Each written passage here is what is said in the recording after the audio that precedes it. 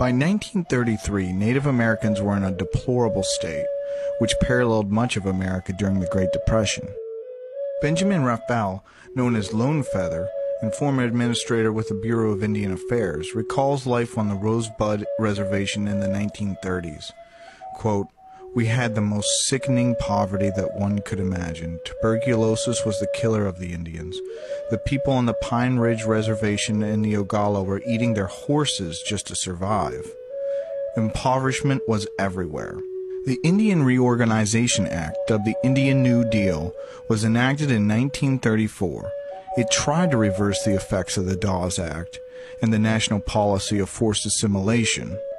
The two main goals of the IRA became economic independence and self determination. But self determination was never fully realized. It was becoming clear that the Dawes Act and the boarding schools were starving and depopulating communities and eradicating Native American culture. The IRA ended with mixed results, and many tribes never adopted it. But some benefits did come from the legislation.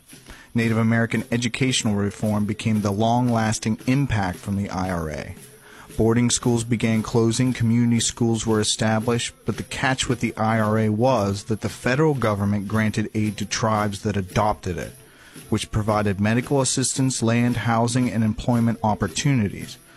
Many tribes did not accept it, thinking rationally of past injustices, that this was just another empty promise from Washington, or worse, another institution to break up what little cohesion the tribes had left.